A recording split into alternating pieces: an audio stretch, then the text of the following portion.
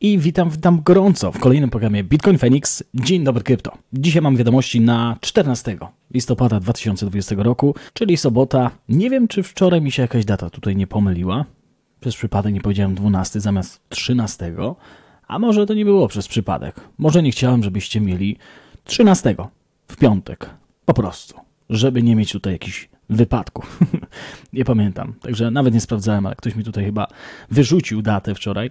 No ale Phoenix z tymi datami to wiecie, że ma już problem już od dłuższego czasu, ale na szczęście nie jest on taki za częsty. Jeżeli chodzi o kolejną audycję, kontynuowaną ze studio BitHub, będzie Phoenix Studio lub inaczej, zobaczymy jeszcze jak nazwiemy, jest już nagrana i będzie to analityk techniczny. Wow! I tam będzie w tej audycji też apel do Was, także mam nadzieję, że będziecie słuchać tego wywiadu i y, oczywiście dostosujecie się do moich wymagań na samym początku tej audycji. Zobaczymy, czy kolejną osobę uda nam się zaprosić, ale to tylko dzięki Wam. Jeżeli oczywiście dopniecie swego. Ok, przejdźmy na wiadomości. A, coś tutaj do mnie doszło jeszcze w ostatnich dniach. Akurat mój bardzo dobry znajomy z Wielkiej Brytanii podesłał mi dzisiaj właśnie takie dwie rzeczy. Także na koniec tej audycji jedną wylosuję i sobie osoba wybierze. Czy to będzie otwieracz czerwony, czerwono mi, czy długopis z Bitcoin Phoenix, czyli z logo. I tak będę robił sporadycznie, raz po raz, e, jeżeli chodzi o, o, o te nagrody. I troszeczkę wyślę też pewnie gdzieś tutaj na, na inne jakieś rzeczy, ale dzisiaj wylosujmy pierwszą osobę. Ja wyślę w poniedziałek lub we wtorek taką nagrodę i ktoś będzie miał fenia koło siebie. Czy to będzie długopis, czy to będzie otwieracz. Powiem wam, że mam szczerze taki otwieracz przy moich kluczach i się przydaje. Chociaż faceci prawdziwi już chyba umieją otwierać piwo o piwo, tak? Chociaż może nie wszyscy, ale będziecie mogli mieć jedną z tych rzeczy. Także wybierzemy dzisiaj tak mimochodem, nie ostrzegałem, oczywiście, zobaczmy, czy ktoś tutaj komentarz jakiś dodał. Hmm, chyba tak, chyba tak. Zgadłeś. O, czyli to czerwone to otwierasz. Więc zgadliśmy Los Chulos, dobra nazwa, dobra nazwa, Los Chulos e, podpowiedział nam w tym, w tym temacie. Dobra, my przejdźmy do wiadomości. Zobaczmy, jak sobie Bitcoin radzi w ostatnich 24 godzinach, a więc 16 340 dolarów. W ostatnich 24 godzinach poszliśmy o 0,5% w górę. E, jeżeli chodzi o kryptowaluty, te, które sobie najlepiej radziły, sushi, wow, zobaczcie jakie tutaj mamy odrodzenie.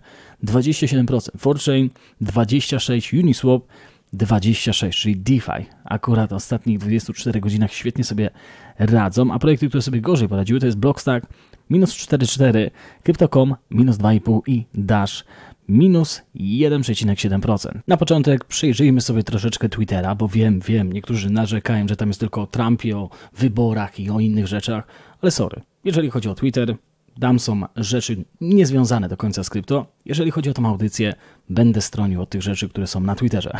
Dlatego tak chwileczkę przeglądam mm, te ostatnie wiadomości i widzę, że Whale Alert 16 minut przed zrobieniem tej audycji, a mamy 23.20 w Polsce, czyli około 23 czasu polskiego, y, mamy kolejny dodruk Tetera. I to jest pomocne w analizie technicznej, o czym się przekonacie w niedzielę na tej audycji. A skoro mamy kolejny dodruk Tetera, no to warto o tym wspomnieć na audycji o kryptowalutach. Znalazłem też taki ciekawy wykres, który podałem też społeczności kryptowalut. Jeżeli chodzi o DeFi, zdecentralizowane finanse, możemy sobie zobaczyć te błędy, które się wydarzały do tej pory, czyli no, można było wypłacić z puli.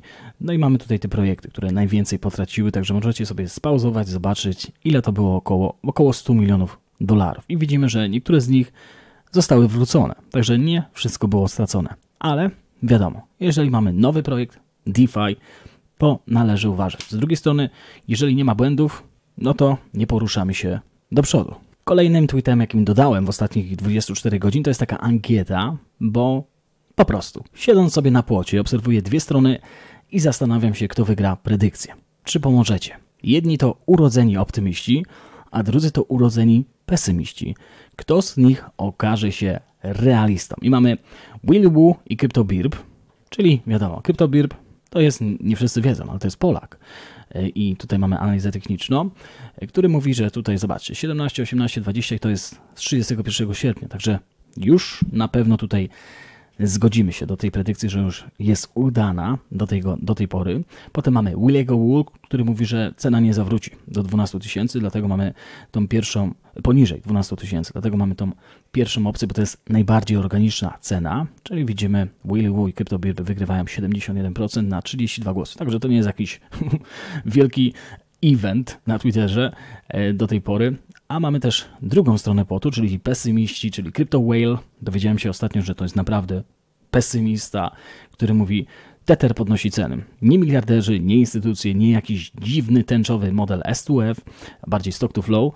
E, wielkie procesy sądowe w końcu się zakończą i wszyscy zobaczycie, jak wygląda prawdziwy dywanik, czyli rack pull, czyli jak się zawija dywan w świecie krypto. A oprócz tego mamy jeszcze G-Mana, który mówi, że tak wygląda ostatnio organiczny wzrost Ethera.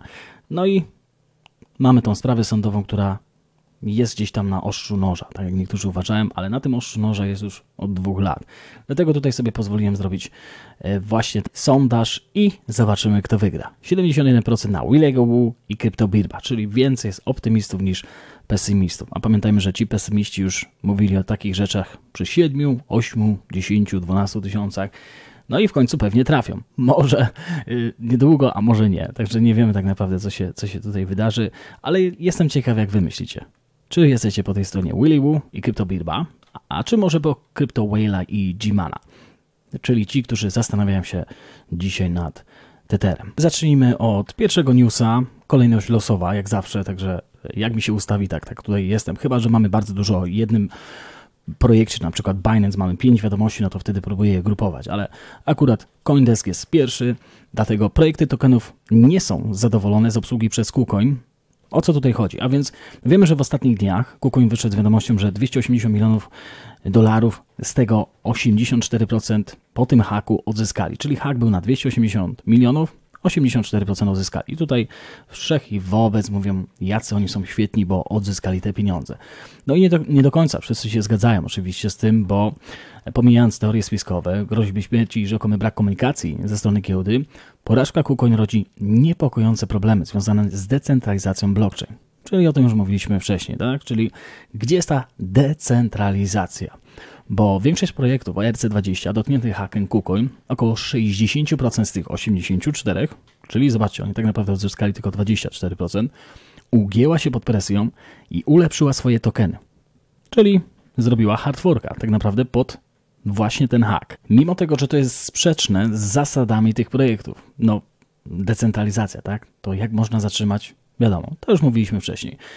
Cytat od tych projektów brzmi tak. Świadomie zbudowaliśmy nasz inteligentny kontrakt w sposób, który jest naprawdę zdecentralizowany. Jako zespół nie możemy po prostu zatrzymać transakcji. Czarnych list osób z białej listy powiedział Paul Claudius, współzażyciel DEI Wikipedia, danych i informacji finansowych. Jako zespół oczywiście ufamy sobie, ale nie uważamy, że świat powinien nam ufać. No i właśnie to jest ten taki troszeczkę kamień y, do zjedzenia z jednej i z drugiej strony. Kto tutaj go bardziej przepchnie na drugą stronę, ten będzie miał rację. No bo z jednej strony, no tak, zgodzimy się, że chcą mieć tutaj zdecentralizowany projekt, ale nie w momencie, gdy jest atak na KuCoin. Albo bardziej KuCoin chce zachować twarz i dyktuje warunki, tak? Więc tutaj gdzieś taki fajny cytat widziałem. Jest to jeden z paradoksów sercu kryptowalut, że zdecentralizowane projekty wymieniają się na scentralizowanych giełdach i muszą polegać na scentralizowanym przechowywaniu jako potencjalnym punkcie niepowodzenia. W tym przypadku ironia i hipokryzja takich porównań jest oszałamiająca, powiedział Richard Sanders, założyciel firmy Cypherplate, zajmująca się analityką blockchain. Najważniejsze jest to, że mamy do czynienia ze zdecentralizowaną technologią, powiedział Sanders oczywiście, ale tak więc ustanawianie precedensu za każdym razem, gdy giełda zostanie zhakowana lub ktoś zaniedbuje jakąś scentralizowaną akcję, jest sprzeczne z samą podstawą tego, o czym ma być ta technologia. Wszystko, co robi KuCoin, sprowadza się do tego, że próbują zachować twarz. Czyli to, o czym mówiłem z Kamilem ostatnio na Encyklopedii Kryptowalut, jeszcze na GitHubie e, w tej audycji, że pojawia się taki zdecentralizowany ufoludek i nagle zatrzymuje kontrakt i, i jeszcze robi hard forka na tym zdecentralizowanym projekcie. No i jak to ugryźć, tak? No to jest z jednej strony KuCoin, z drugiej strony mamy te projekty, które się burzą, no i nie ma się co dziwić i, i jednej, i drugiej strony. Bardziej jestem tutaj po tej stronie tej decentralizacji DeFi, ale jeżeli taka rzecz się dzieje na scentralizowanej giełdzie, podpowiedzcie, jak można temu zaradzić. Widzimy, że Vitalik zaczyna promować Ethereum na Twitterze, że kara za obstawianie i zysk zmieniono na udział w programie motywacyjnym, czyli już tutaj pewne kary za to, że nie jesteśmy online na tych 32 Ethereum zastawionych w stakingu ulega pomniejszeniu. Czyli Vitalik wychodzi po prostu z taką ręką dla tych ludzi, którzy chcą stakeować 32 Ethereum, takim jest można powiedzieć promotorem na Twitterze. No i mówi o tym, że 25% rocznie nawet można zarobić, więc należy już tutaj wchodzić w to Ethereum 2.0. Ale widzimy, że nie do końca wszyscy się z tą tezą zgadzają, bo jesteśmy teraz na właśnie tym Twitterze, gdzie codziennie informuje nas, praktycznie co 3-4 godziny, ile osób już zastejkowało na Ethereum 2.0 albo przerzuciło te 32 Ethereum. Dopiero mamy 12%, czyli jeszcze brakuje 1974 nody z 16 tysięcy. Także jeszcze jest tutaj dużo czasu, żeby to się zmieniło. Bardzo możliwe, że to w jeden dzień zapełnią, jak się pojawią kosmiczne pieniądze. Ale pamiętajmy, że mamy czas tylko do 1 grudnia, także zobaczymy, jak to będzie tutaj w sprawie tego Ethereum 2.0 wyglądać. Decrypt. Dalej mamy problem na tym Electrum. Wiadomo, był tam problem z aktualizacją, a bardziej z jakimś starym oprogramowaniem tego portfela Electrum, gdzie mógł się pojawić komunikat o update'cie, tak? Wiemy, że to już wydarzyło się parę razy, ale dzisiaj dwa bitcoiny, czyli już wczoraj 32 tysiące dolarów zostały wysłane znowuż na ten adres oszustów, czyli ktoś po prostu użył starego portfela Electrum i przejął kolejną ofiarę. Tylko i dlatego. Więc uważajmy na to, bo już do samej tej pory na tym Electrum na BTC zostało wysłane 1 milion dolarów. A kiedy to się pojawiło? Zobaczmy dokładniej, e, a więc w maju 2019 roku. Uważajmy, obojętnie co nam każe, czy zaktualizować cokolwiek, uważajmy po prostu, żeby tego nie robić, tylko najpierw sprawdzić, czy to jest oficjalny news, wiadomość, czy to jest stare oprogramowanie, na przykład, no bo po prostu to może tak właśnie występować. To jest ciekawa informacja, bo jeżeli śledzimy geopolitycznie, co się dzieje dzisiaj na arenie międzyświatowej, no to wiemy, że w Wenezueli, Kanadzie, mm, innych tutaj krajów, e, tych bardziej komunistycznych, można tak powiedzieć, Australia też poniekąd, można powiedzieć, Wielka Brytania ostatnio, te same kroki, e, no to tutaj mamy akurat Wenezuelę. Chiny ostatnio wytoczyły działa w stosunku do, do kryptowalut, do bardziej do dwóch giełd i jest tam jakaś moc prorządowa, która o tym decyduje. A teraz mamy wenezuelską państwową firmę energetyczną, czyli ten sam reżim, odcina energię elektryczną dla górników bitcoinów. Za zamknięciem stoi rzekomo wysoko postawiony urzędnik albo osoba w rządzie. Wenezuela ma zdrową społeczność górniczą, podczas gdy ich waluta fiducjarna oczywiście słabnie. Firmy już wytoczyły takie działa, można powiedzieć, że mm, zaplanowały spotkanie w celu negocjacji z rządem, jednak to spotkanie zostało później odwołane. Podczas gdy nagrody za wydobycie sięgają 100 tysięcy dolarów za blok, górnicy w Carabobo w Wenezueli nie zobaczą ani grosza. Wenezuelskie przedsiębiorstwo energetyczne odłączyło sprzęt górniczy w całym stanie. E, górnik twierdzi, a bardziej firma górnicza, że menadżerowie w państwowej spółce energetycznej wyjaśnili, że wszystkie kopalnie w Carabao zostają zamknięte, począwszy od weekendu 7 listopada. Wszystkie kopalnie w prowincji były nieaktywne. No i na koniec mamy podsumowanie tego artykułu, że Wenezuela, która ma rząd socjalistyczny, miała mieszane relacje z kryptowalutami. O tym wiemy. Wiemy o Petro, ale mnie bardziej tutaj interesuje powiązanie tych krajów, które ostatnio chociaż Iran. Iran jest pro, pro bono, można powiedzieć, w stosunku do firm górniczych, ale już tutaj coś chcą z tego. Także, hmm, czy właśnie Wenezuela będzie chciała coś z tego i wtedy będą mogły występować, bo wiecie, jak to działa w tych wszystkich krajach socjalistycznych. Jeżeli my coś z tego mamy, wy możecie działać prawnie. Także to jest, to jest ciekawe. Będziemy tu obserwować tą sytuację. Tornado Cash, jeden z tutaj takich prywatnych puli na Ethereum, a chodzi bardziej o mikser, przekracza 13 milionów dolarów, osiągając nowy rekord. Zobaczcie, ile ostatnio osób chce większej prywatności na, powiedzmy tutaj, tym Tornado Cash. I w tym przypadku można tutaj wymieniać na tym mikserze i obsługują Ethereum, DAI, CDAI i USDC. Usługa służy do ochrony tożsamości, oczywiście poprzez zabezpieczenie połączenia między jego adresem wypłaty a adresem, którego użył do zdeponowania swoich aktywów. Można tutaj dodawać takie kwoty jak 0,1 Ethereum, 1 Ethereum 10 czy 100 Ethereum. Można pomiędzy sobą miksować te wszystkie rzeczy. Wiemy, że Tornado Cash też używała jedna osoba, teraz nie pamiętam, który to był hack, na której giełdzie, czy to był KuCoin, czy to była inna giełda, czy to było po prostu związane z DeFi, ale wiemy, że Ethereum były przesyłane na Tornado Cash na pewno, a potem jeszcze chyba były łączone z inną metodą. Ale nie pamiętam teraz, jaka, jak, może mi przypomniecie w komentarzach. Na pewno użytkownicy XRP, tego forka Flare, ucieszą się na tą wiadomość. Dlaczego? Bo Bitstamp będzie pierwszą giełdą obsługującą właśnie tego forka XRP Flare. Zobaczmy, co tutaj się dowiemy. Bitstamp, jedna z największych i najdłużej działających giełd na świecie, obecnie rozważa dodanie obsługi Flare zgodnie z postem z blogu 13 listopada. Więc na razie nie wiemy, czy będzie dodana, ale rozważają właśnie to. Na pewno będą obsługiwać airdropa, to nie ulega wątpliwości, ale może będzie można już tutaj sprzedać y, od razu i będzie notowany na tej giełdzie Flare token. Także to jest na pewno dobra informacja. Y, zobaczmy jeszcze, co tutaj się dowiemy dalej. Aha, że jeszcze forki będą tutaj na BitTrue, Upholdzie, a bardziej airdropy, tak? Y, na BitTrue, Upholdzie i o ile dobrze pamiętam też eToro też będzie miał tu swojego o, oczywiście airdropa. Także widzimy, że coraz większe zainteresowanie. Jest Flare z XRP. CZ dodaje prawdę objawioną. Nie wiem jak na to wpadł, ale chyba jest naprawdę mądrym człowiekiem, bo inwestorzy Binance znajdują inteligentne osoby, które próbują obejść blokady w USA. No nie trzeba być dzisiaj chyba aż tak inteligentną osobą, żeby wiedzieć jak to zrobić, ale założyciel i dyrektor generalny Binance, Changpeng Zhao, czyli CZ mówi, że musi zrobić więcej, aby zablokować inteligentnym amerykańskim handlowcom nielegalny dostęp do jego globalnej giełdy.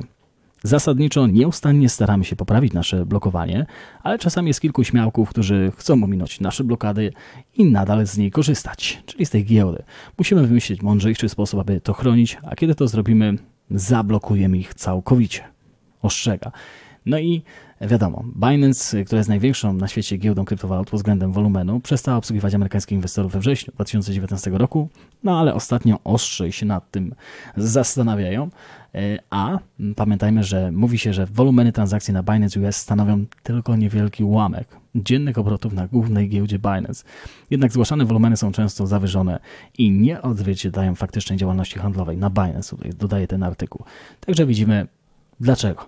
Też niektórzy się pchają oknami i drzwiami do Binance, ale nie US, tylko tej globalnej giełdy. Atari jest już na giełdzie uruchomił swój token, zaraz o nim sobie porozmawiamy, ale powiem Wam, że nie pamiętam. Nie pamiętam tego urządzenia. Pamiętam Amigę 500, pamiętam Commodore 64, pamiętam F3, F5, mm, pamiętam, nie wiem, jakieś tam gry, które wyglądały jak, jak wąż w Nokii z 98 roku, mm, a bardziej z 2008 e, daty, pamiętajcie, Phoenix daty. Tak?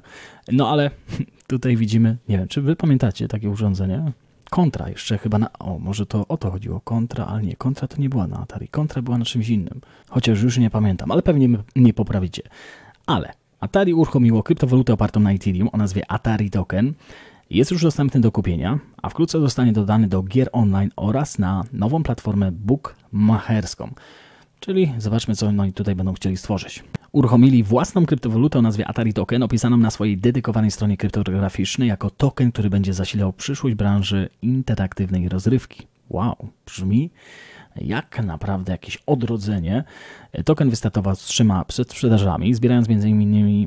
ponad 1,5 miliona dolarów publicznej sprzedaży, a następnie udał się na żywo na bitcoin.com, aha, czyli na tą giełdę, w dniu 29 października, gdzie osiągnął cenę 25 centów. Także jeżeli nie słyszeliście o Atari Tokenie na Ethereum, na tym takim, wiecie, poważnym blockchainie, no to wtedy możecie usłyszeć i zakupić. Może nie taką konsolę, ale dajcie znać, bo jestem ciekaw, czy mi się historycznie tutaj wszystko zgadza. Cointelegraph. Banki będą musiały dostosować się do kryptowalut, mówi lider banku Anglii. A kim on jest? A więc zastępca gubernatora Banku Anglii John Cunliffe mówi o tym, że banki pozostaną istotne, ale to nie jest ich głównym założeniem. Nie znajdują się na liście rzeczy do zrobienia w banku centralnym, żeby banki zostały istotne. Naszym zadaniem nie jest ochrona modeli biznesowych banków, powiedział Cunliffe zgodnie z piątkowym raportem. Banki będą musiały się dostosować, dodał. Naszym zadaniem jest zapewnienie, że jeśli zmienią się modele biznesowe banków, będziemy zarządzać konsekwencjami finansowymi i makroekonomicznymi, czyli to może doprowadzić rzeczywiście do CBDC, a jeżeli wyjdzie taka inicjatywa od wielkości albo większości banków centralnych, no to wtedy oni też będą musieli się dostosować do nowych modeli. Co za tym idzie, bardzo możliwe, że do kryptowalut.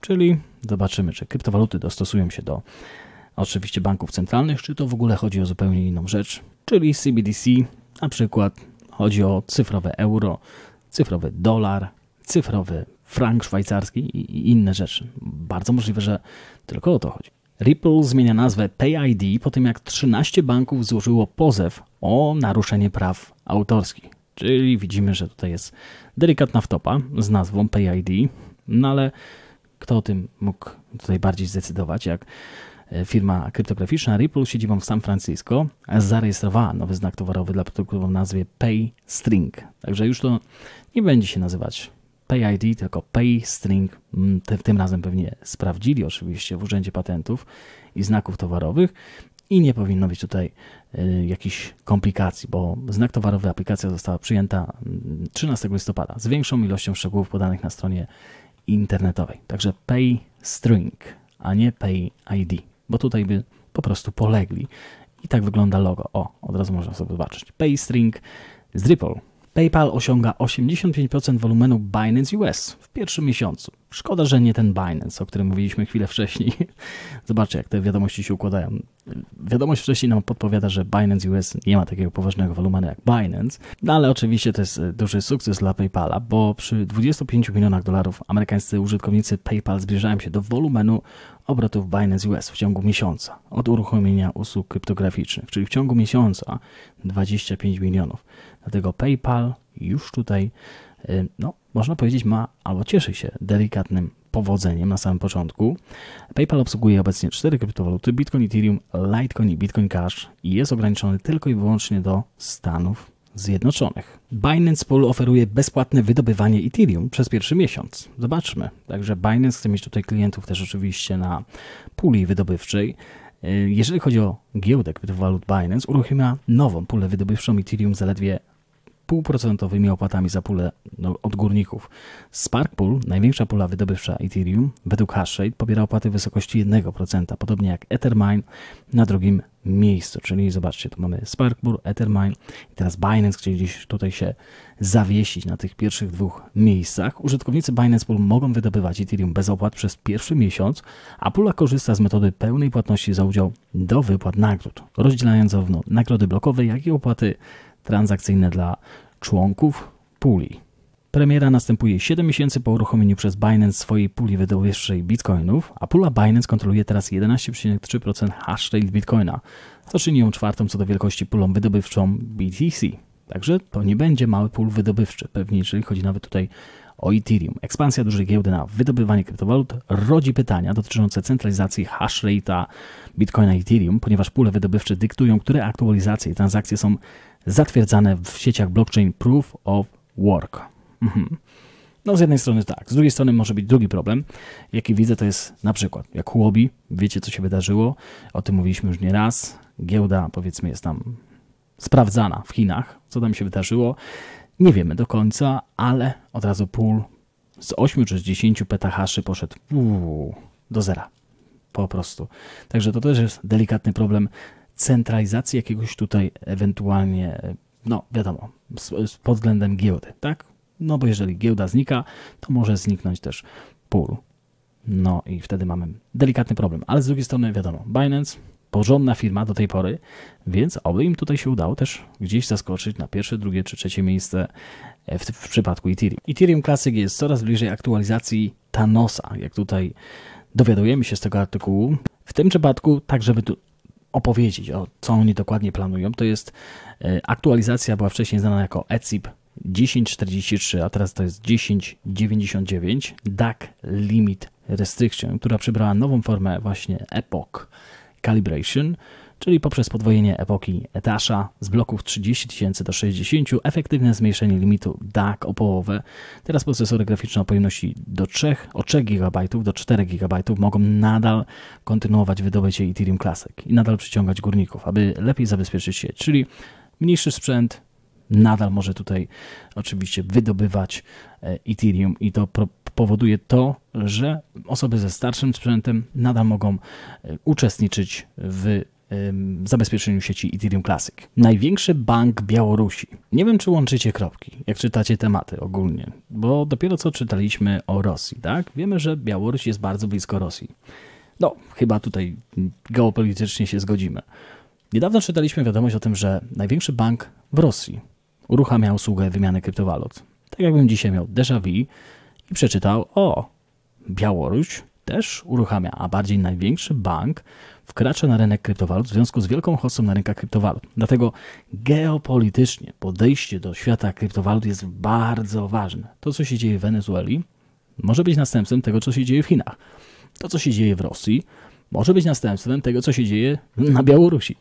Dlatego geopolitycznie powinniśmy wychodzić poza ramy tych kryptowalut, bo możemy przewidzieć wiele e, ciekawych rzeczy. Belarus Bank, największa instytucja finansowa na Białorusi, podobno uruchamia usługę wymian kryptowalut. Nowa usługa jest podobno dostępna dla obywateli Białorusi i Rosji. No, macie odpowiedź. Bank planuje również w najbliższym czasie rozszerzyć listę krajów obsługujących usługę, a także listę obsługiwanych kryptowalut. Zauważa raport. Zobaczcie, tak żeście wszyscy naganiali na tą Białoruś, że w mediach mówili, że tak niepoprawnie został wybrany ten rząd. A tu zobaczcie, przychylni krypto. Hmm? Ciekawe, nie? A pewnie tutaj nie jeden się odezwie, no ale w mediach mówili, że oni go niepoprawnie wy... Tylko niektórzy nie wiedzą o tym, że pan prezydent Białorusi nie podpisał, a nie wziął nawet pieniędzy na boku od WHO po to, żeby wprowadzić w tym kraju lockdown. I chwilę później zobaczyliśmy fajną nagonkę w mediach. Ale no, do tego trzeba też dwóch stron płotu, tak? No bo jeżeli oglądamy jedną stronę, to, to nie, nie znamy drugiej. Także tutaj nie będę o tym już dalej mówił, ale widzimy, jaka jest zbieżność. Białoruś już tutaj akurat, bank, chciałby wejść w kryptowaluty. A Białoruś i Rosja nie za bardzo chcą być tutaj może blisko banków centralnych. A nawet gdzieś tutaj dodałem informację ostatnio, dokładnie to, że dolar, Władimir Putin to powiedział, dolar cieszył się wielkim zaufaniem na całym świecie, ale z jakiegoś powodu jest używany jako broń polityczna, nakładając różne sankcje, ograniczenia. Wiele krajów odchodzi teraz od dolara jako waluty rezerwowej. Dolar amerykański wkrótce upadnie. Tak, tutaj przepowiadał oczywiście Władimir Putin wcześniej, więc hmm, to jest ciekawe, to jest ciekawe. Ja jestem ciekaw, czy Donald Trump jest za centralnymi bankami. Też z drugiej strony. Dobra, przejdźmy do kolejnej wiadomości. Ok, jeszcze już tu jesteśmy prawie przy końcu, a więc nie zostawię Was bez Bitcoina i analizy technicznej na weekend, także jeżeli Bitcoin pokona 17 150 dolarów i zamieni się w wsparcie, a nie w linię oporu, to 20 tysięcy dolarów stoi otworem, jak tutaj można powiedzieć, albo drzwiami do lasu.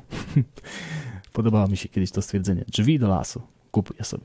Nie, oczywiście żartuję, ale mówię, że 17100, jeżeli tutaj osiągniemy z Bitcoinem, to 20 tysięcy jest w granicach zdrowego rozsądku. Ta osoba podaje informacje, analityk techniczny, który mówi, że Miej oko na te kluczowe poziomy cen bitcoinów, dzienne czy tygodniowe z najwyższych poziomów 2017-2018 roku, które prawdopodobnie mogą odrzucić, zanim przejdą wyżej. Ale po 17149 niewiele stoi na przeszkodzie, aby osiągnąć 19, ponad 19 tysięcy. To już nie jeszcze all time high, ale ponad 19 tysięcy dolarów. Także 17149 i już tutaj to the moon. Coinbase ułatwi płatności bitcoina za wybrane usługi paszportowe w USA. Paszport i Visa z siedzibą w USA, Peninsula Visa ogłosiły, że będą teraz akceptować mm, płatności Bitcoina za wybrane usługi paszportowe. Coinbase Commerce będzie działać jako bezpieczny procesor dla tych transakcji BDC. Także to jest ciekawe, bo można płacić Bitcoinem za usługi paszportowe. Przeczytałeś to, prawda, nawet tutaj mówią o tym. Po pierwsze, prawie 50-letnia amerykańska firma zajmująca się przetwarzaniem paszportów i wiz, Peninsula Visa, będzie teraz akceptować BTC dla wybranych usług paszportowych. Ramię Coinbase zajmujące się płatnościami kryptograficznymi Coinbase Commerce będzie pomagać firmie w tym samym. Także widzimy, że to jest też ciekawa adopcja i na pewno to będzie brane pod uwagę, jeżeli chodzi o przyszłą adopcję ogólnoświatową Bitcoina. Ok, przejdźmy do naszych asów, biegaczy, e, czy inne osoby, które tutaj oczywiście przekazują wiedzę krypto. Pierwszym z nich jest dzienna dawka dyskomfortu. I tutaj mamy Akale Karura, czyli ważny parachain dla Polkadot i Kusama. I chyba tutaj Akala albo Karura jest kojarzona z Feniksem. Coś mi tutaj Andrzej podpowiadał, dlatego musiałbym chyba tutaj spojrzeć oczywiście na tą audycję podczas biegania. Ja Andrzeja oglądam podczas biegania. Tak mi jakoś weszło w krew. I kiedy on biega, ja też biegam, a przynajmniej on mi tutaj przekazuje wiedzę o krypto. Szczepan Bentyn, Bitcoin lepszy niż złoto, wyjaśnia 16 tysięcy, fork Ethereum, kwarantanna z Bitcoinem. Dalej mamy FX Max, szef Pfizera pokazał, jak to robić mamy. Aha, wiem o co tutaj chodzi, czyli szef Pfizera sprzedał po prostu na wydaniu informacji, e, że ich szczepionka jest gotowa. Teraz pytanie, czy zostanie zaaprobowana, tak? Ale no, faktycznie to jest ciekawa, ciekawy temat. Encyklopediia kryptowalut. Uwaga, krypto, odcinek specjalny czterech, zobaczcie, czterech muszkieterów. A, jest tak. O kryptowalutach, o portfelach i rynku. Więc kto to jest? Od lewej z góry Encyklopedia kryptowalut, pseudokolos, Max Satoshi, lotnik, ja bym powiedział Satoszow, Tom Kowalczyk, czyli haker po lewej i Andrzej El Profesor po prawej na dole. Także tutaj mamy te osoby, które są. Mm, zobaczmy kogoś tutaj jeszcze e, mamy dalej. A więc 321 Krypto dzień temu. O nie, nie, nie, chłopie, ty tak łatwo ode mnie. A, zobaczcie, godzinkę temu. No, alty spadają, ostatnie okazje, ale ostatnia godzina, BTC, ostatnie tchnięcie tej rakiety, największy news Azji, czy to początek końca USA i World War III, a czy trzecia wojna światowa nastąpi, to tylko jak Trump nie zostanie wybrany, to jak już wam podpowiem. O, niektórzy nie wiedzą tego. Maćkowi tylko przekażemy, że za Trumpa stara cena insuliny kosztowała 600 dolarów miesięcznie, zanim jeszcze Trump został wybrany. Nowa cena insuliny 35 dolarów miesięcznie, tak? Czyli niektórzy dziękują Donaldowi Trumpowi, ale nie o tym chciałem przekazać. Jeszcze inna bardziej ważna wiadomość. Podpowiemy troszeczkę od strony kota Felka, czyli kot Felek, Feniks z boku miau. I tutaj ci podpowiemy Macieju. Media, 2016 rok. Trump rozpocznie wojnę nuklearną.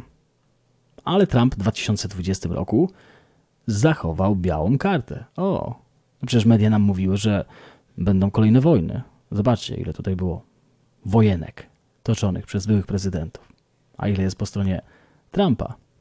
Ale o tym media głównego nurtu na pewno nam nie przypomną. Jarząbek, projekt, który wrócił do mojego portfela. O, Ciekawe, jaki to jest projekt. Jurek S. Analizy, analiza techniczna 13 listopada 2020 roku. Tutaj zapraszam do Jurka również. Mike Satoshi, kup tyle BTC, ile zdołasz. Kiyosaki, Bitcoin, 16 tysięcy, alty powoli rosną, banki muszą przyjąć krypto. O, czyli widzimy o, i tutaj mamy regulacje kryptowaluty w Unii Europejskiej, UOKiK i promotorzy piramid prawo kryptowalut i tutaj wystąpi Aleksandra Kopeć i wytłumaczy nam, co się wydarzy z tymi wszystkimi promotorami walk ciężkich.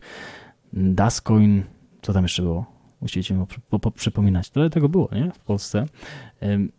Future Net, coś takiego. E, dużo tego było, więc tutaj na pewno o godzinie, jeszcze raz zobaczmy, już czterech oczekujących jest o tej godzinie. Wow, mają tutaj pod podejście. Chyba około godziny 15, bo akurat nie wiem. Musicie wejść. Chyba około godziny 15 w sobotę to będzie dodane. A my przejdźmy na e, komentarze. Zaraz sobie wybierzemy jedną osobę, która wygra losowe. Co, co chce? Czy długopis, czy, czy... Długopis piszę w kolorze niebieskim, także sorry.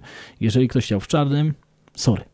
Mamy tylko niebieski kolor bo czarnym to już wszystko można napisać, naprawdę. I czarno się biało drukuje, a niebieski tak się troszeczkę odznacza od tego wszystkiego. Grzegorz Kowalik, kurde, ale brakuje mi na tropie Satoshi Nakamoto. Kiedy będą jakieś nowe odcinki? Pozdrofenio. a, no, jak będą jakieś nowe newsy, na przykład wyjdzie jakiś news, że Mike Satoshow to jest Mike Satoshi, wtedy dodamy. Albo na przykład ktoś inny tutaj nagle wyjdzie, Puma Leon, ja słyszałem witam was gorąco. Okej, okay, już wszystko jasne. Nie, nie, nie. Witam, witam gorąco. Ale tylko dlatego, że bardzo szybko to mówię, wychodzi witam tam. No i niektórzy mają rację. No, za szybko mówię, po prostu. Bogdan Chłopek, już niedługo drugie urodziny BSV. O, macie pozdrowienia od Bogdzia. I jeszcze mamy Super Iwonę. Ja już wcześniej o tym pisałam, że najlepszą kryptowalutą do wysyłania jest yy, Excelem, czyli Stellar. Dosłownie czekałem sekundę i pojawiło się na moim koncie, a pozostałe takie jak LTC, Dash, XRP, Cardano musiałem czekać nawet kilka godzin i oczywiście korzystałem z kilkunastu giełd i bezapelacyjnie wygrywa Excelem. Jeśli chodzi o prowizję, to jest śmieszna albo nawet jej nie ma. No, czyli widzicie, Super Iwona wie lepiej niż my, że najtaniej to jest po prostu wybrać Stellar. I teraz się posypią te wszystkie osoby, które ej, a co z moją kryptowalutą? No, nie będziemy już tutaj dywagować na ten, na ten temat, a ja wybieram na sam koniec osobę, która wygra coś tutaj ciekawego. I uwaga, uwaga, mamy 25 komentarzy, także zrobiłem to tak z bomby, troszeczkę wiecie, żeby nikt nie wiedział, że są takie nagrody. Jedna nagroda, do kogo tutaj trafi? O, nawet zrobili nowe, nowe rzeczy. O, zobaczcie, Super Iwona wygrała. No i proszę, podpowiedziała wszystkim i wygrała y, komentarzem tym, że Stellar wygrywa. I koniec, kropka. Także dziękujemy Superifona. Wybierz co chcesz. Mam nadzieję, że mieszkasz w Polsce, bo gdzieś tam za granicę gdzieś wysyła. No ale dobra. Obiecałem, zrobię. Także o, nawet wró wrócimy do tego. Albo ten czerwony, albo ten długopisik. Ciekawy, z logiem Bitcoin Phoenix. Także dzięki wszystkim. Widzimy się kiedy? W niedzielę. A nie, jeszcze się widzimy o 9 rano przecież z gościem specjalnym y, w niedzielę. Chyba, że coś mi tutaj nie dojdzie, to będzie gdzieś po godzinie 13-15 w niedzielę, ale będzie na pewno w niedzielę. E, a potem widzimy się mm, albo u Majka, jeżeli zdążę dojechać, jeżeli nie, to w poniedziałek z rana zapraszam do Majka, zapraszam do innych osób przez weekend. Niech się troszeczkę narobią, a my bierzemy wolne. Życzę Wam wspaniałego dnia, no i pamiętajcie, zostańcie z Bitcoinem.